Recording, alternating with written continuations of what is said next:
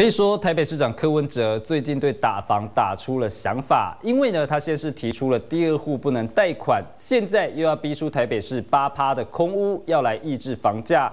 不过呢，这个贷款一缩，今天呢被财政部长张胜和打脸了，强调这样会冲击金融业。那么许多的银行大佬也纷纷跳出来炮轰。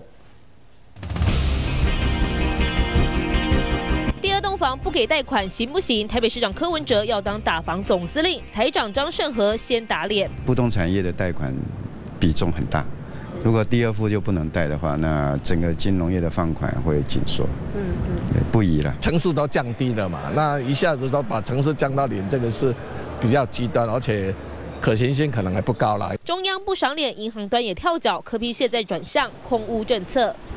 那个那个账单的话，恐怕会吓一跳，因为对于那些空屋哦，恐怕房屋税会增增加很多。像美和市这种捷运连开宅，科比打算试出千户来逼出台北市六点六万户的空屋，来抑制房价。包括新店美和市、台北桥头站、港前站和龙山寺站，年后北市府将试出一千多户空屋出租或是标售，由市长决定。不是两回事啊！年纪买房子是你要支付能力嘛？连开宅本意是只租不卖，当社会住宅，而非投资性需求。找连开宅开刀，无法抑制炒作。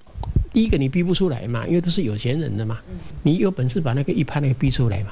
你逼九十九拍没用嘛。打不到有钱人，反而让买小屋换大屋的自住小资族耍雷弹。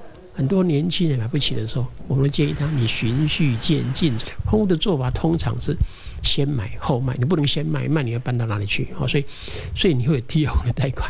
看新加坡政策，第二户贷款从二零一零年七成到二零一三年减到三到五成，是逐年递减才合理。